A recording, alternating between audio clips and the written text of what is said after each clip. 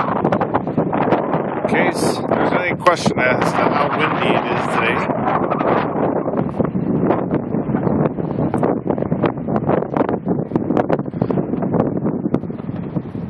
Look at the top of these trees.